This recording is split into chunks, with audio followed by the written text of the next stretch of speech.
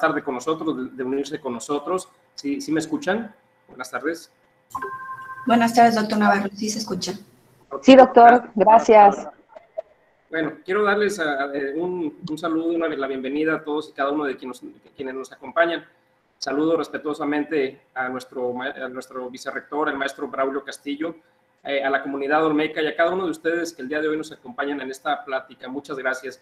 Eh, la plática titulada Lo Sagrado de la Mujer. Eh, este en el marco del Mes Internacional de la Mujer. No queríamos dejar pasar de, lado sin invitar a nuestro, nuestro ya conocido doctor Guillermo, Guillermo Gutiérrez a que nos diera esta, esta ponencia.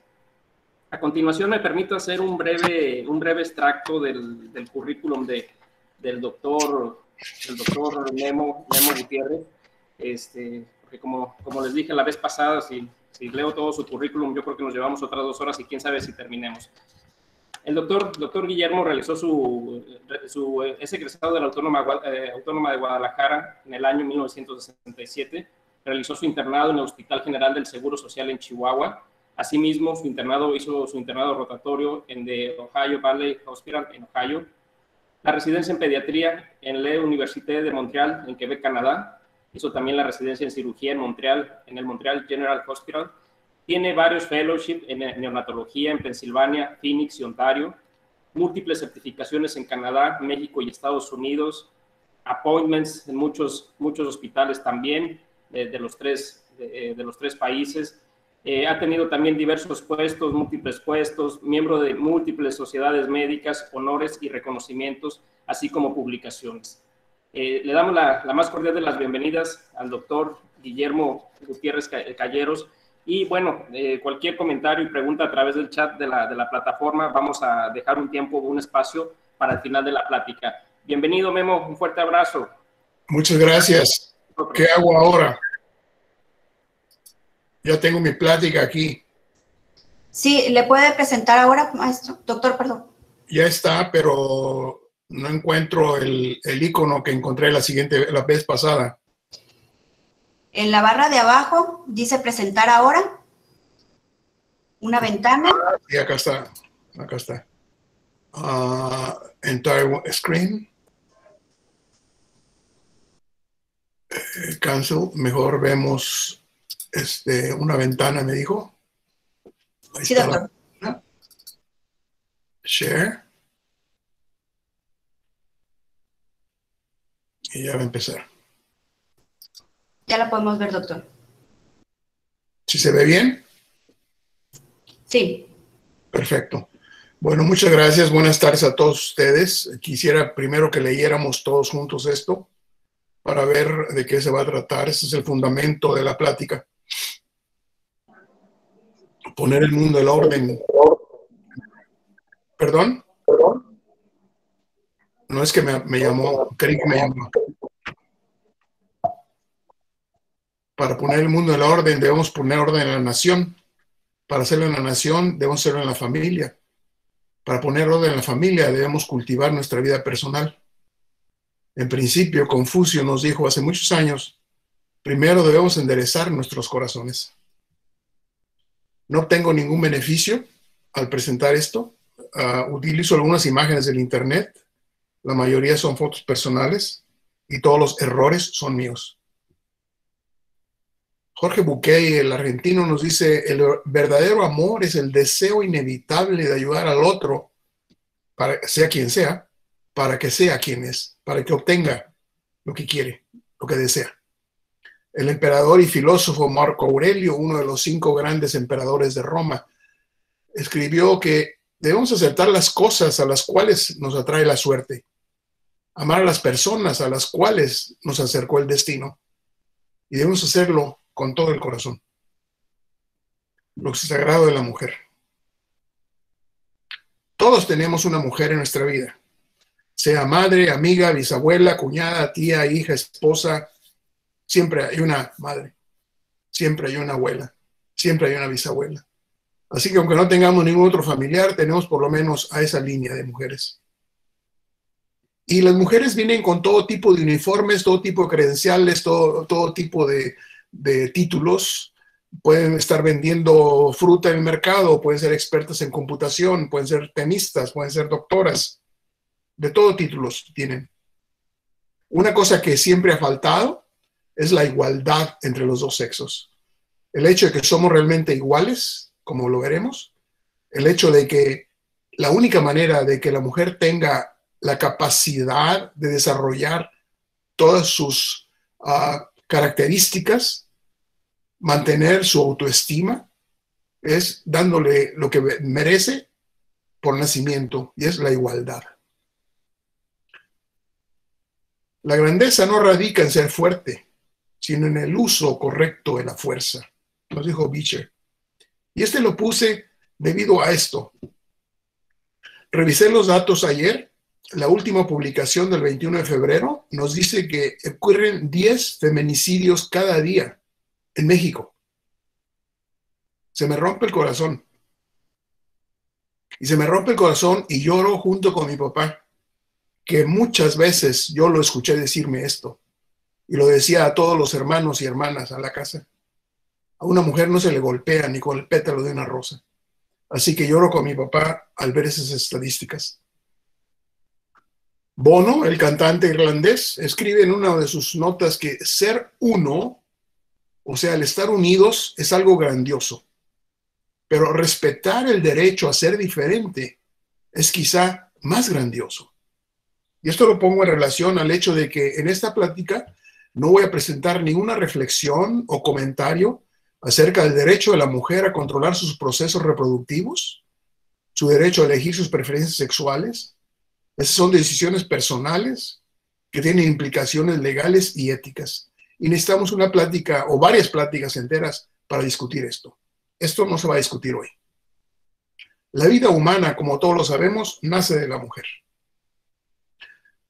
Catón, nuestro filósofo, escritor de Saltillo, nos dice que hace muchos años el creador estaba haciendo todas las criaturas y súbitamente tomó una y le empezó a pintar con los colores más bellos y de repente la criatura se fue volando.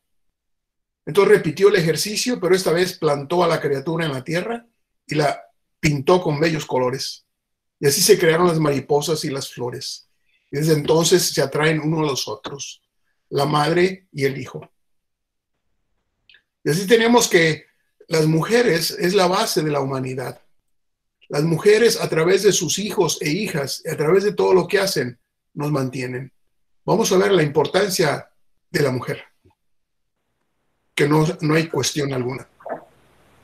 Empezaremos diciendo una cosa curiosa que encontré hace, hace años. Hay una etnia que se llama los Aymara, que viven en el triángulo entre Chile, Perú y Bolivia. Y en su lenguaje tienen la expresión Naira Mara y Kuipa Mara.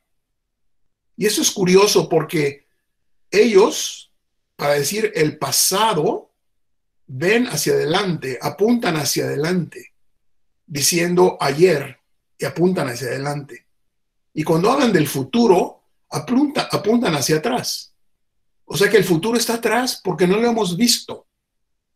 El pasado está adelante porque lo hemos visto.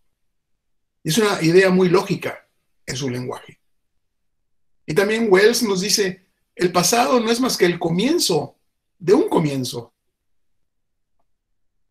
Y ese comienzo siempre es la madre para todos. En hospital, en clínica, en rancho, donde ustedes quieran y guste, todos venimos de una mujer. De parto de cesárea, de parto difícil, de parto más fácil de parto rápido, de parto lento, pero todos venimos igual. De ahí venimos todos. En la familia, la madre es la vida, es el lazo de unión, el fuego y la luz. Y todos los miembros de la familia se benefician de su trabajo, entusiasmo y devoción. Y muchos miembros de la familia dependen durante muchos años, quizá toda su vida, de la madre. Todos, sobre todo los pequeños, sufren cuando ella no está bien o cuando ella ya no está. Así que todos y cada uno de los esfuerzos que individualmente y como sociedad hagamos para mejorar el bienestar de la mujer es una contribución a la salud de las siguientes generaciones. Schiller nos recuerda, no es la carne ni la sangre, sino el corazón, lo que nos hace padres e hijos. Y esto lo pongo porque muchas veces la mamá no es realmente la madre biológica. Ha sido un bebé adoptado, así la, muerte, la, muerte, la, muerte de la madre hace que el, el niño sea, o la niña sea cuidado por alguien más. Los amigos, las amigas siempre cubren el papel de la madre cuando hace falta o del padre. Así que no es realmente la carne ni la sangre, es el amor, es el corazón lo que nos hace padres e hijos. Alguien escribió, si yo amo mucho a mis papás, por eso son mis papás. Y si ellos me aman a mí mucho, por eso son mis papás. No es la sangre, no es la carne, es el amor, es el corazón lo que nos hace hijos y padres. Alguien escribió hace muchos años, debemos apreciar las pequeñas cosas de la vida, porque algún día vamos a mirar para atrás y realizaremos que realmente eran grandes cosas. Una de las grandes cosas es el hecho de que debemos recordar siempre a las mujeres sin hijos, sea porque no han podido tener hijos, o sea porque los tuvieron y fallecieron, sea porque los tuvieron y se les fueron, y esa madre sufre Aún la madre sin hijos sufre. La madre, la mujer que nunca ha sido madre, también sufre al ver alrededor de ella. Voy a hablar un poquito al final de esta foto. Esta foto la tomé el 9 de noviembre del 2004. Mi mamá Julia está falleciendo, está ya inconsciente. Ya llevamos varios días ahí a su lado. Yo tenía un congreso internacional que no podía fallar y mis padres siempre me dijeron, primero, haz lo que tienes que hacer. Así que le dije a mis hermanos y a mis hermanas que tenía que irme y eh, salí 24 horas antes de su muerte. Fui a despedirme de ella, está acostada, cubierta con una cobija que nuestro hijo Nicolás le había regalado unos años antes. Está acostada, tiene sus dos manos sobre el pecho, tomo su mano derecha de ella para persinarme, pues ya me voy. Y al regresar la mano derecha, su mano izquierda cayó a su lado sobre la cobija. Fue lo último que vi de ella tomé mi cámara, tomé la foto y me fui. Una pequeña cosa que no sé por qué lo hice, pero vamos a ver después que no era realmente una pequeña cosa. La humanidad tiene dos alas para volar, como bien lo sabemos. Y esas dos eh, personas se unen y van a compartir en un acto dos células haploides, o sea, dos células que cargan cada una la mitad de la carga genética. Una, el osito, a la izquierda, es la célula más grande de las células humanas. Y la otra, sobre todo la cabeza del esperma, es quizá la célula más pequeña. Ambas células no son seres humanos, pero cargan el potencial de vida humana, a diferencia de muchas otras células. Ambas células están a unas horas y a pocos días de morir. El osito sobrevive y es fértil durante 24 horas. El esperma sobrevive y es en condiciones apropiadas y, es fértil, y puede fertilizar hasta 5 días. Y estas dos células están a punto de morir, se difuminan, se juntan y crean una nueva vida. Recordatorio es que al crear esa nueva vida, esas dos células al unirse, forman lo que se llama el cigoto. En unas horas, el cigoto se va a dividir en dos grupos de células. Las células que se llaman la célula, la masa externa, forman el trofoblasto, que es el que va a encargarse de la placenta. Y las células que quedan en medio, de que llamamos el embrioblasto, es la que va a formar de ahí todas las células somáticas, básicamente todo el cuerpo, el hueso, el, hígado, etc. Pero también debemos de recordar que en esas primeras divisiones, en esas primeras horas, el embrioblasto también se divide no solo en células somáticas, sino en células germinales primordiales, lo que significa que los ositos y los espermas, sus células, ya están eh, dedicadas desde primeras horas de la evolución del cigoto. Se sabe que en las ogonias, o sea, los ositos primitivos, ya se pueden observar histológicamente desde la semana 7 antes de que la madre de la mujer sepa que está embarazada, ya están las células germinales listas. En base a eso, está esta caricatura, esta laminilla. representa a la madre, la abuela, en negro, y en su vientre tiene a la madre, la cual en su vientre tiene en los ovarios los ositos de la futura generación. Lo que significa que todo lo que esta madre, todo lo que esta abuela, todo lo que la bisabuela, todo lo que tatarabuela hizo de bueno o de malo, se va a reflejar en los ositos de esa mujer, que son la siguiente generación. Es por eso importantísimo que alertemos a nuestras niñas y nuestras jovencitas a tener mucho cuidado con lo que hacen, con lo que comen, con lo que fuman, con lo que se inyectan, del punto de vista emocional, al estrés, etcétera, porque todo eso tiene efectos positivos o negativos sobre los ositos y así se impactan las siguientes generaciones. Dentro de la madre, el ADN está haciendo su trabajo, está, está eh, organizando la formación de proteínas, que son la base fundamental del cuerpo.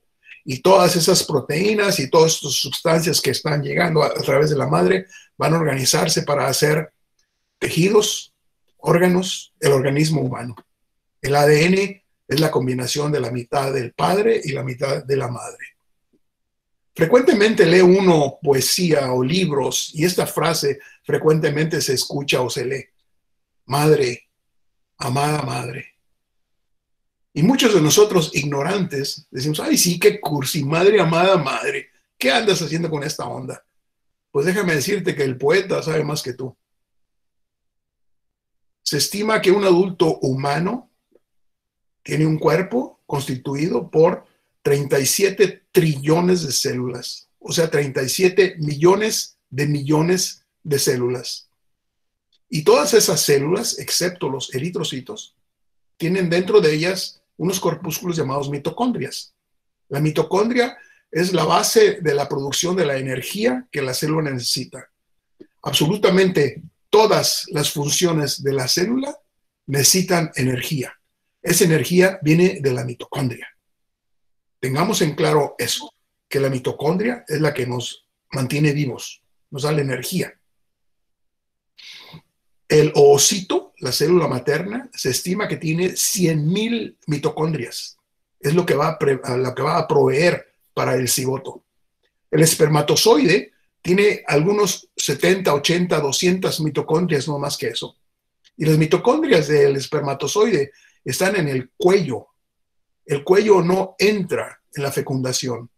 Las mitocondrias dan la energía para que el flagelo, la cola, esté eh, eh, batallando para seguir subiendo en su camino. Pero cuando llega el momento de la concepción, de la fertilización, el cuello se rompe y el cuello se queda afuera. O sea que nosotros no cargamos mitocondrias de nuestro padre. Se estima que las mitocondrias de las células del ser humano son 99.9999 mitocondrias de la madre. Lo que significa que cada acto que haces, cada pensamiento que tienes, cada eh, torta que te comes, cada caminada que das, cada risa que tienes, todos y cada uno de tus actos, esa energía viene de tu madre. Eso es lo que le debes a tu madre biológicamente. Así que le demos, démosle crédito al poeta cuando dice madre, amada madre. Y aquí tenemos las mitocondrias, estos caracolitos anaranjados. La mayoría de las células tienen 200, 400. Hay células que tienen hasta 2000, 3000, sobre todo las del hígado. Las células que más tienen son los cardiomiocitos, que tienen hasta 5.000, 7.000 mitocondrias por célula. Todo eso, cada latido de tu corazón, cada segundo en que estás consciente, cada instante de tu vida, se lo debes a tu madre. Sabemos ahora que los dos organismos, uno dentro del vientre, el otro proveyendo la nutrición, el oxígeno que necesita, eliminando la basura metabólica, están íntimamente unidos a través de la placenta y del flujo placentario. Ahora sabemos que hay un intercambio de células entre los dos organismos. Es el concepto que se llama microquimerismo. A la izquierda, en azul, están todos los órganos en los cuales se han encontrado células maternas en el tejido, en los órganos del bebé. Y a la derecha, en rojo, todos los órganos y tejidos en los cuales se han encontrado células del bebé en la madre. No son nada más células que llegan, se depositan y ahí se quedan escondidas. Son células que se adaptan a la función y están trabajando en esos órganos. Así que nosotros tenemos dentro de nuestra madre, dentro de nosotros, tenemos células de nuestra madre. Y nuestra madre tiene células nuestras y de todos los embarazos que ella tuvo. Nuestros hermanos, hermanas, los embarazos que nunca supo que estuvo embarazada. Es un universo en el cual todos estamos conectados y directamente con nuestra madre. No solo células, sino que también se han detectado en muchísimos estudios, es uno de los tópicos que más me interesa, se han detectado vesículas extracelulares. Sabemos ahora que las células se comunican soltando pequeñas burbujitas de sustancias químicas que flotan por la sangre y van a otros lados. En cáncer eso lo llamamos metástasis. Pero normalmente en una persona hay trillones y trillones de pequeñas vesículas extracelulares que están flotando. Y estas encontramos vesículas extracelulares de la madre en el bebé y viceversa. Y también encontramos ADN libre circulando en los organismos. Gibran, uno de mis autores preferidos, me dice, nos dice, tus hijos no son tus hijos, son hijos e hijas del anhelo de la vida por sí misma. Vienen a través de ti, pero no de ti. Así que mis hijos, los hijos de Yanin, no son hijos nuestros. Nosotros participamos biológicamente en la creación de ese cuerpecito, pero no son nuestros. Nuestros hijos no son nuestros. Nuestra esposa no es nuestra. Nuestra madre no es nuestra. Cuando yo digo mi madre, mi esposa, mi hijo, mi amigo, mi equipo, no lo digo en el sentido de posesión, esto es mío. Lo digo en el sentido de orgullo. Es mi madre, es mi mamá, es mi esposa, es Janine, son mis hijos pero realmente no nos pertenecen, ni nuestros hijos nos pertenecen. La Madre Teresa en unos escritos dice esto bellísimo, los enseñarás a soñar, pero no soñarán tu sueño. Son criaturas completamente diferentes e independientes. Así que el concepto de mamá y papá son un poquito diferentes. Del punto de vista biológico, tenemos madre y padre. Del punto de vista emocional, intelectual, de cariño, tenemos mamá y papá. Por eso frecuentemente digo mi mamá y mi papá. Y una vez un residente me dijo, oye, doctor, ¿no cree usted que sea más apropiado decir mi padre y mi madre? Sí, yo sé que ellos fueron mi padre y mi madre, pero yo tengo mi corazón en mi papá, yo tengo el corazón en mi mamá. Así que son conceptos equivalentes, pero un poquito diferentes. ¿Cuál es la diferencia entre el hombre y la mujer? Hay dos libros que esta autora, Luan Brissenbin, escribió. Uno de ellos, el primero que leí de ella, es El cerebro femenino. Y me encanta. Les voy a dar un resumen de tres o cuatro aspectos de lo que nos dice ella. El ADN del hombre y la mujer, el 99% y más, es igual. O sea, de 25 mil a 30 mil genes. Los científicos nunca se han puesto de acuerdo si tenemos 23 mil genes, que es el número que más frecuente se utiliza, pero también hay gente que dice hasta 25 o 30 mil genes. 99% son iguales. Lo que significa que desde el punto de vista genético, no estamos hablando del ADN completo. El ADN entre el hombre y la mujer es 99.9999% igual. Estamos hablando de los genes, los que participan en la producción de proteínas y en acciones fisiológicas. La diferencia entre los genes de hombre y mujer es menos del 1%. O sea, menos de 250 o 300 genes. Haciendo la aclaración de nuevo, que no estamos hablando aquí de toda la cadena del ADN, en la cual somos básicamente iguales. La masa cerebral del hombre es 9% mayor que la de la mujer, pero curiosamente el número de neuronas es similar. Por eso alguien dijo, es que los hombres tienen la cabeza inflada, inflada, se les infla la cabeza pues sí sabemos que biológicamente, histológicamente, tenemos el mismo número estimado de neuronas. Las áreas del cerebro humano que están a cargo del deseo sexual, de la acción y de la agresión son 2.5 veces más grandes, más extensas en los hombres. Quizás será por eso que el año pasado en Estados Unidos de América, las prisiones federales y estatales tenían 93.4% de reos masculinos. La violencia, el deporte, el fútbol americano, el box, la lucha. Las áreas del cerebro humano que controlan el lenguaje y los centros de aprendizaje, las mujeres tienen 11% más neuronas en esas áreas. En la infancia, estos son estudios que han cambiado los números mucho, pero lo que leí yo en varias ocasiones, diferentes autores, es que en la infancia se estima que el niño habla en promedio 7.000 palabras en un día. Y la niña de la misma edad habla en promedio 23.000 palabras por día, tres veces más. Y eso lo sabemos básicamente.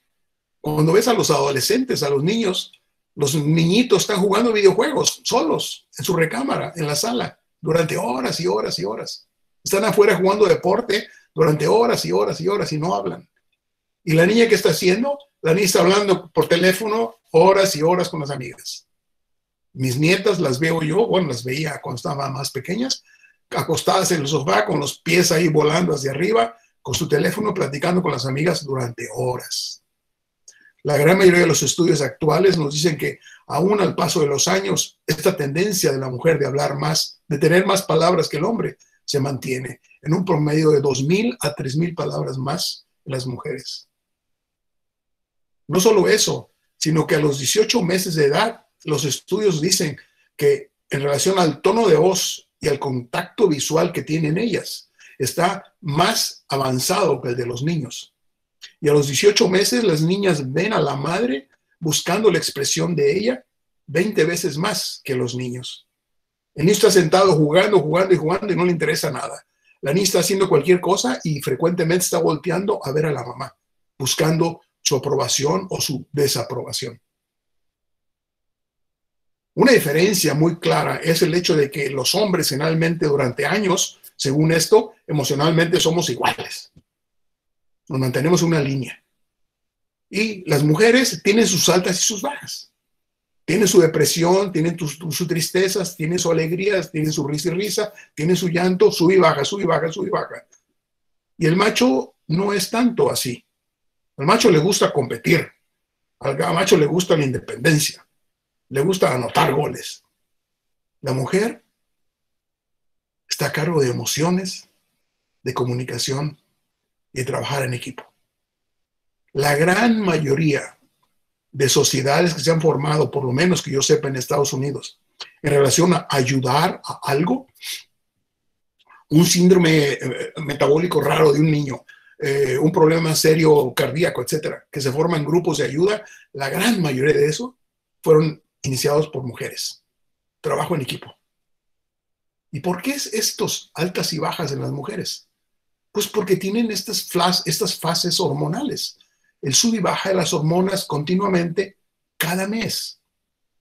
Y en esta que las puse juntas, eso es las mujeres, el sub y baja de la mujer. Es el sub y baja emocional.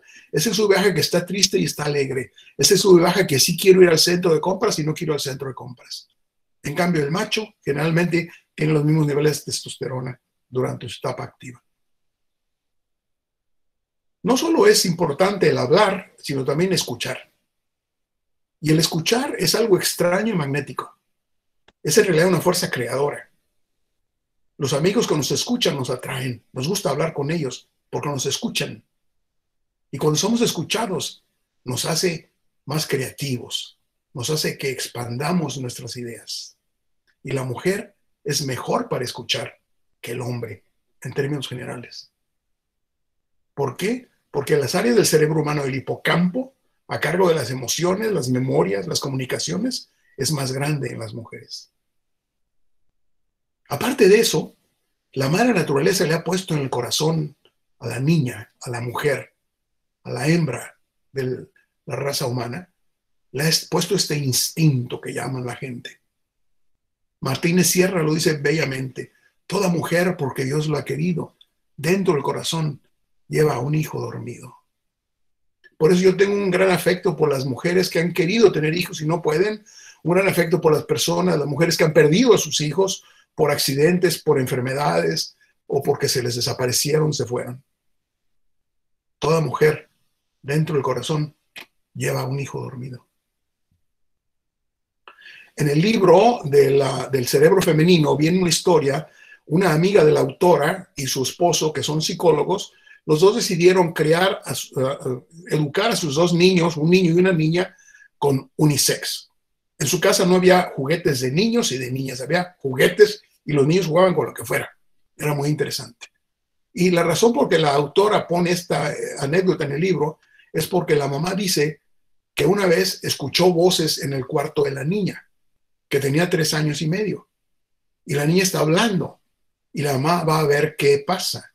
La niña abre, la mamá abre la puerta y ve a la niña sentada con una cobija abrazando a un cochecito.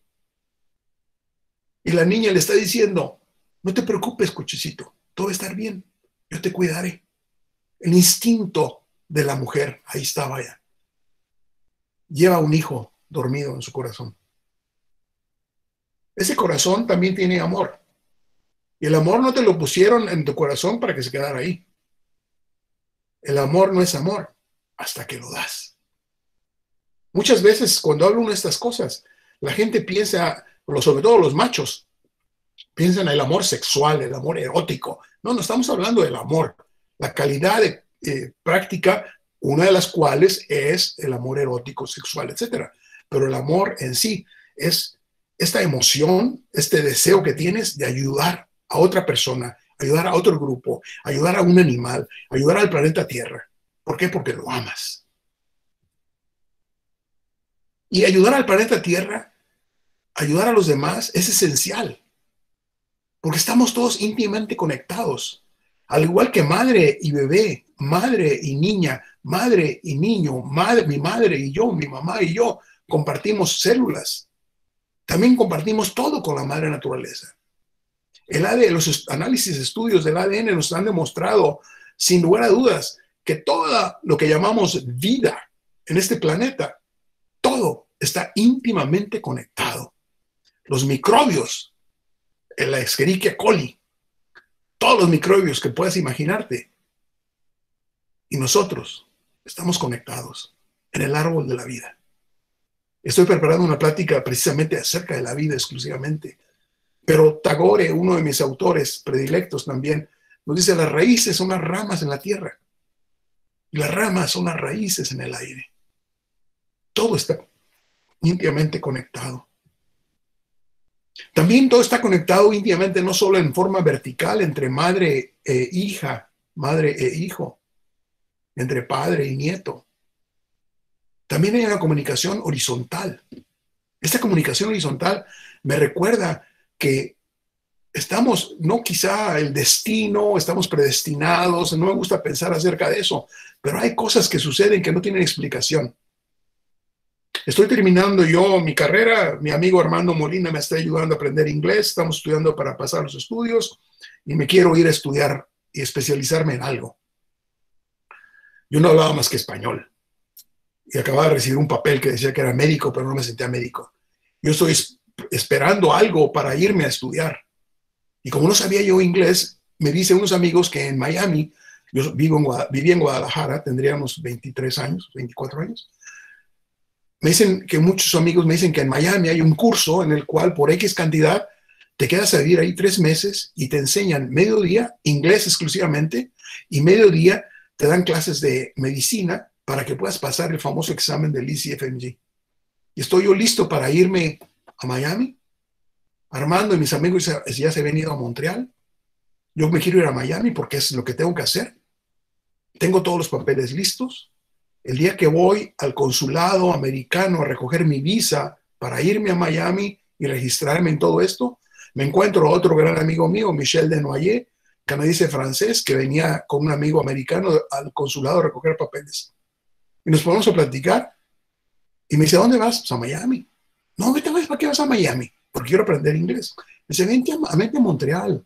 En Montreal aprendes inglés, aprendes francés y pasas el examen canadiense y el americano. Te va mejor tienes dos chances por uno. Así que me fui a Montreal.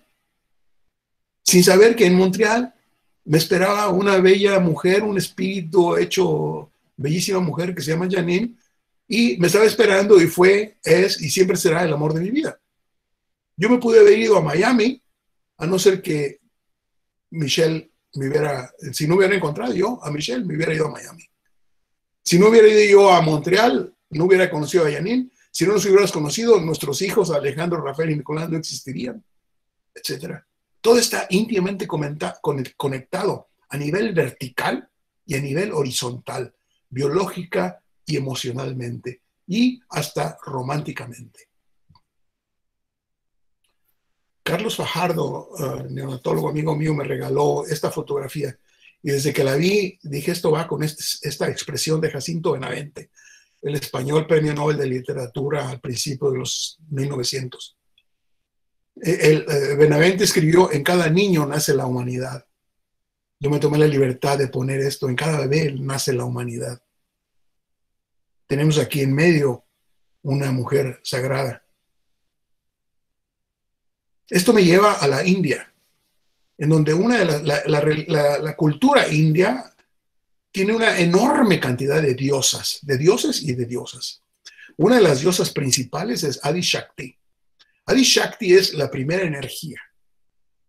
Es la divina mujer asociada con la creación, con todas las manifestaciones de vida y de poder y con la vida misma.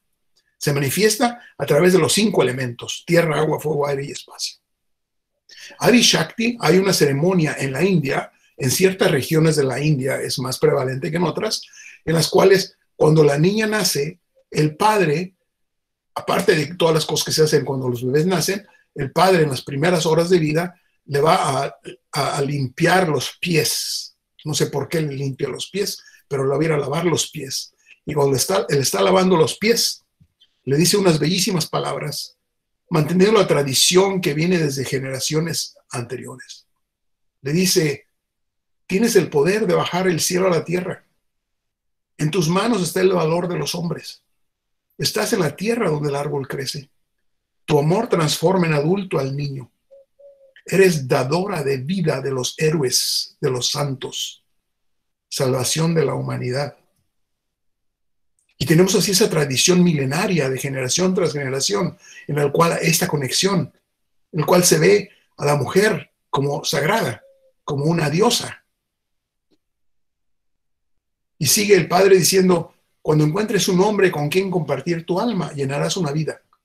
Y cuando esa unión sea bendecida, dos se convierten en uno y entra al mundo un niño.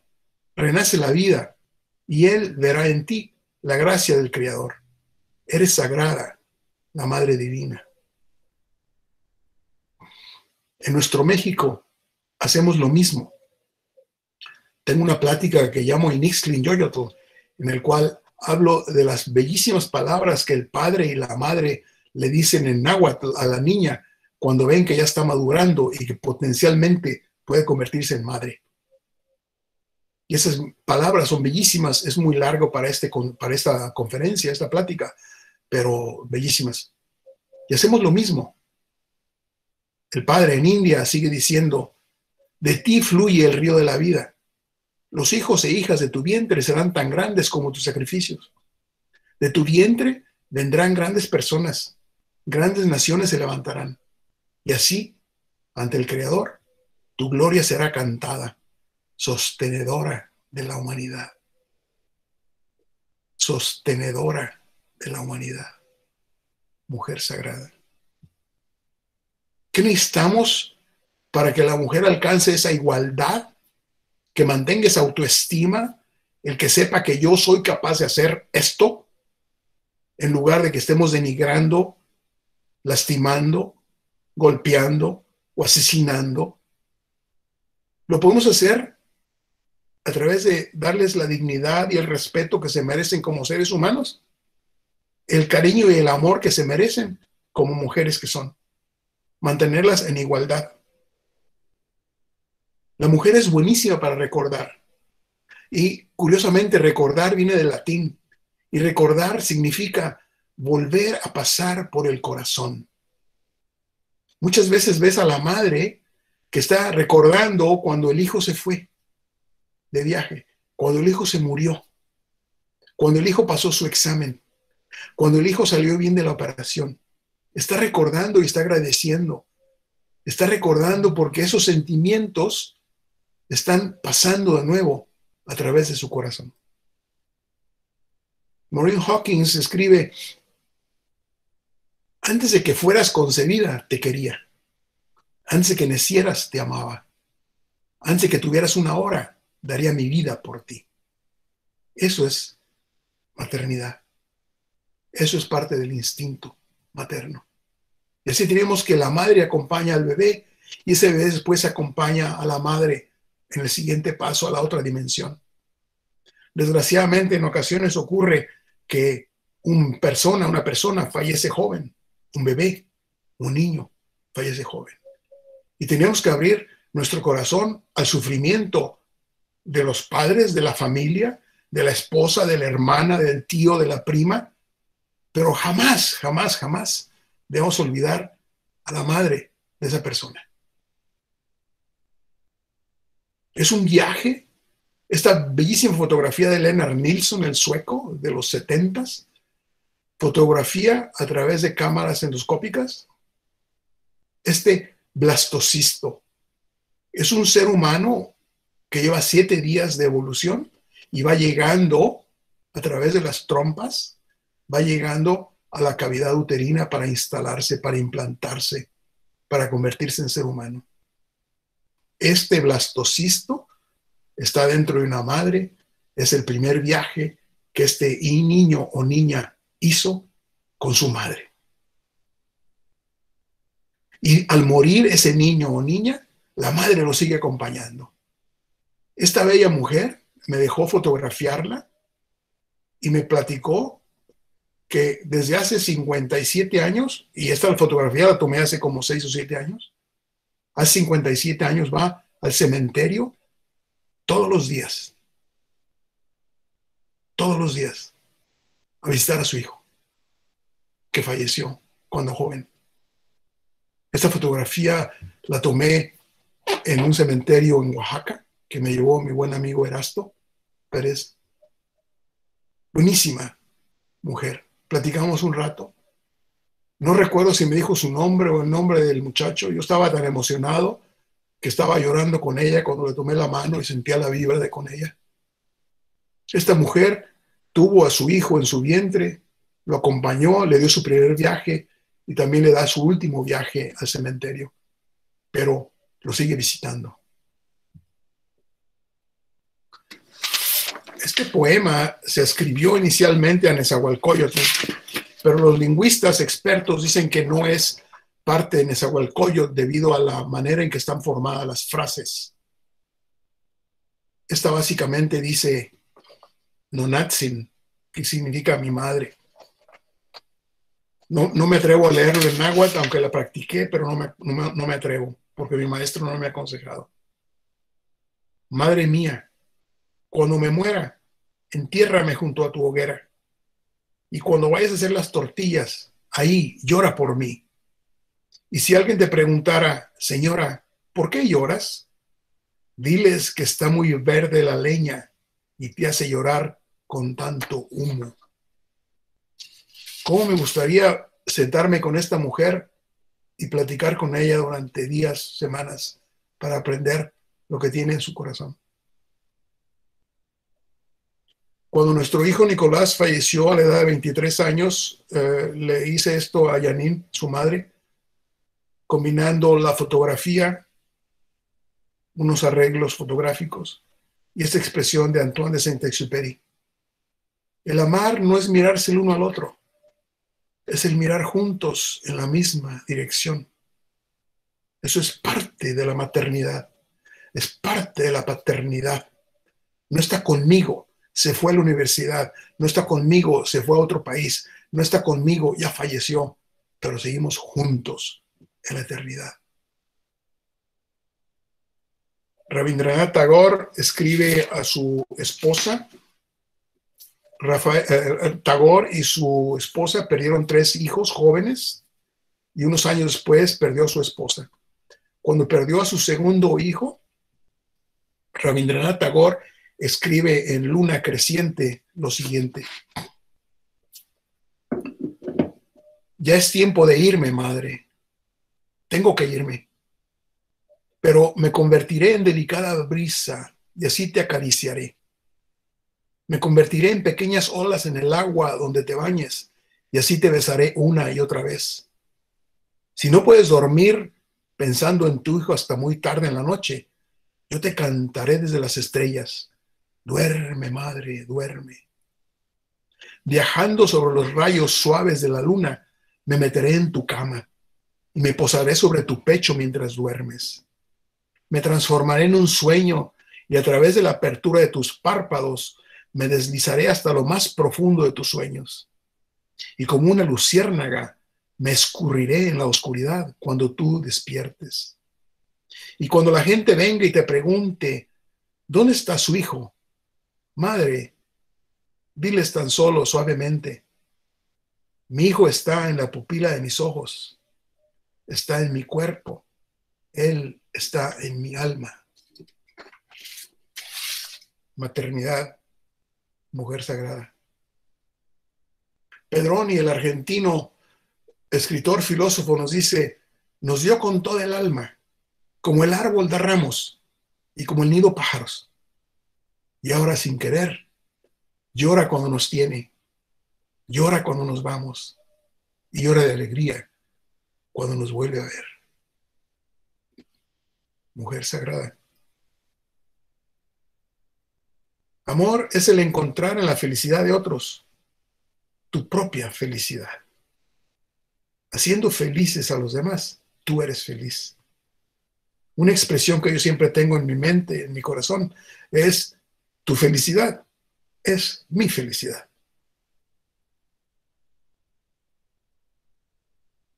La Madre Teresa nos escribe, enseñarás a volar, pero no volarán tu vuelo. Enseñarás a soñar, pero no soñarán tu sueño. Enseñarás a vivir, pero no vivirán tu vida. Sin embargo, en cada vuelo, en cada vida, en cada sueño, perdurará siempre la huella del camino enseñado. Hosho, Hosho es una palabra, más que palabra, es un concepto de los Navajo aquí en Arizona. Tengo amigos, amigos Navajo y frecuentemente voy a platicar con ellos. Josho es la combinación de paz, balance, belleza, armonía. Ser humano, naturaleza, infancia, maternidad, belleza, armonía, paz, muerte, balance.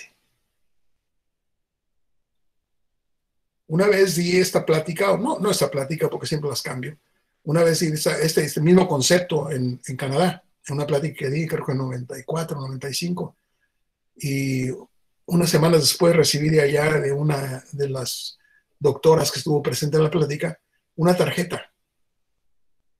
Dice, esto lo puede usar en sus pláticas. Y esa tarjeta, esas tarjetas que se abren en dos y les de la derecha y de la izquierda.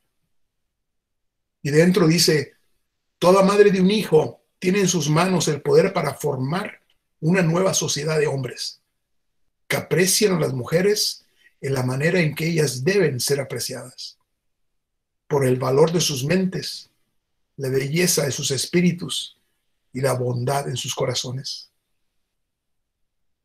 Toda madre de una hija tiene en sus manos el poder de enseñarle a las mujeres a que no pidan menos que eso. Cuando abrazas a tu bebé, tú tienes en tus brazos la promesa de un mejor mañana para todas las mujeres. Madre, la palabra más bella en los labios de un hombre y la más dulce, madre mía.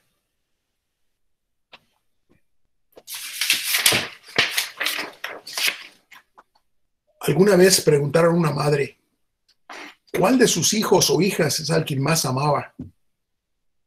Y la respuesta de la madre fue, mi hijo que tiene dolor hasta que sonría, mi hija enferma hasta que sane, el que está de viaje hasta que vuelva, la que está fatigada hasta que descanse, el que tiene hambre, el que tiene hambre hasta que se alimente, la que tiene sed hasta que beba, el que estudia hasta que aprenda, la que está desnuda hasta que tenga con qué vestir, el desempleado hasta que obtenga trabajo, la que se enamora hasta que esté tranquila, el que prometió algo hasta que lo cumpla, la que es madre hasta que los eduque, el que debe algo hasta que lo pague, la que llora hasta que sea dichosa, el que ya murió hasta que lo reencuentre.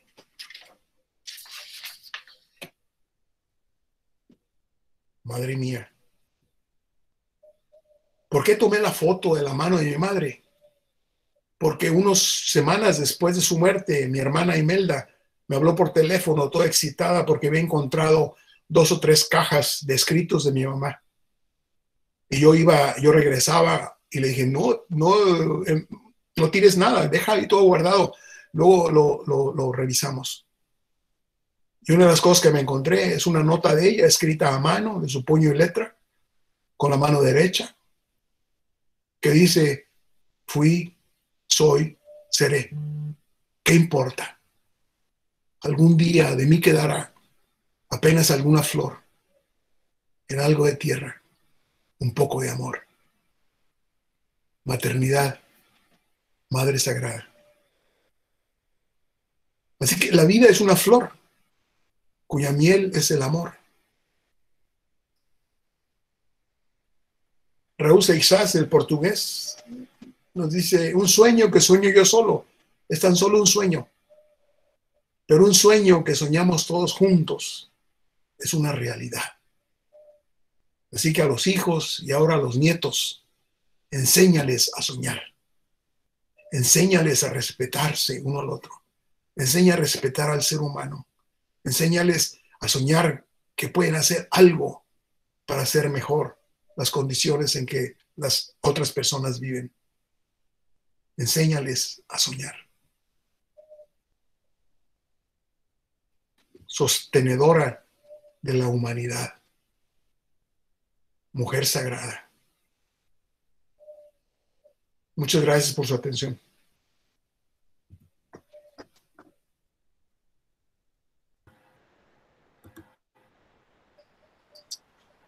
Muchas gracias a ti, Memo. Creo que este, nos tienes a todos con un nudo en la garganta, muy bonita tu, plática, una excelente, una excelente ponencia. Eh, y esos son los comentarios, es el, el común de todos los comentarios que nos, que nos han llegado. Mucho que reflexionar en este, en este mes tan sagrado, ¿no? Este mes tan sagrado de la, de la mujer, creo que, creo que a todos nos llegó. Y bueno, tenemos dos minutos por si alguien eh, gusta hacer algún comentario, alguna pregunta, este, pues adelante, que nos levante la mano, pero vuelvo a repetir que el común denominador, pues es, es lo, lo excelente de la ponencia, mi querido Memo. Si alguien tiene alguna, algún comentario, alguna pregunta. Creo que nos dejaste pensar, pensativos a todo Memo. Mucho que reflexionar. Me quedo con esa, eh, este, con esa máxima que decías, que decía no es la carne ni la sangre, sino el corazón lo que nos hace padres e hijos. Eh, por aquí tengo, tengo algún comentario de la doctora María Guadalupe Jiménez Dice, mi hija mayor, 10 años, me preguntó, ¿a quién quiero más? ¿A ella o a su hermanita de 3 años? Mi respuesta, a las dos, pero a ti llevo más, más años amándote y su carita se iluminó. Gracias, doctor Gutiérrez. De nuevo, un placer escucharle. Con respeto, doctora María Guadalupe Jiménez, Jiménez Solís. Yolochin Isabel, gracias, eh, muchas gracias por esta ponencia muy interesante. Este, Ángel Sierra, muchas felicidades, excelente disertación.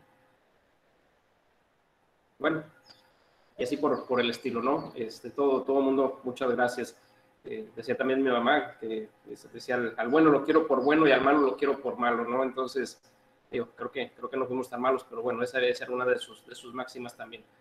Memo, a nombre de la Universidad Olmeca te damos las gracias, a nombre de nuestro rector que hoy, hoy no pudo estar con, con nosotros, el doctor, doctor Emilio, eh, a nombre de nuestro vicerrector, el, el maestro Braulio.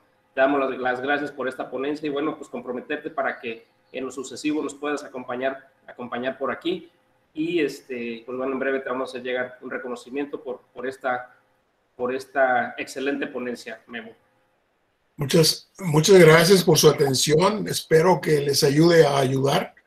Espero que les ayude a seguir empujando la idea de que hombres y mujeres somos exactamente iguales y tenemos los mismos derechos, las mismas responsabilidades. Eh, agradezco los comentarios uh, positivos, los reconozco, no en nombre mío, porque como he dicho en muchas ocasiones, yo soy como la luna, yo no tengo brillo propio, yo solo reflejo lo que me han dado mis padres, mis hermanas, mis hermanos, mis hijos, la, bella, la más bella mujer, Janine, eh, mis pacientes, las madres de mis pacientes y todos mis amigos que he tenido toda mi vida, eh, buenas personas. Y como dicen mis amigos de Monterrey, eh, son buenas bestias en el sentido positivo, de que son gentes trabajadoras, gentes que jalan y gentes que siguen adelante con sus conceptos de ayudar tan solo por ayudar. Espero que puedan seguir ayudando a otras personas. Muchas gracias. Muchas gracias, Memo. Un abrazo. Te mandamos un abrazo y muchas gracias a todos los que nos acompañaron esta tarde. Este, muchas gracias. Un aplauso para ti, a nombre de todos. Estoy viendo por ahí algunos que están aplaudiendo. Y saludos a todos, saludos a todos, Memo. Un, un gusto que, que, nos hayan acompañado el día, el día de hoy. Muchas gracias a todos. Gracias a ustedes. Gracias. Sí se va.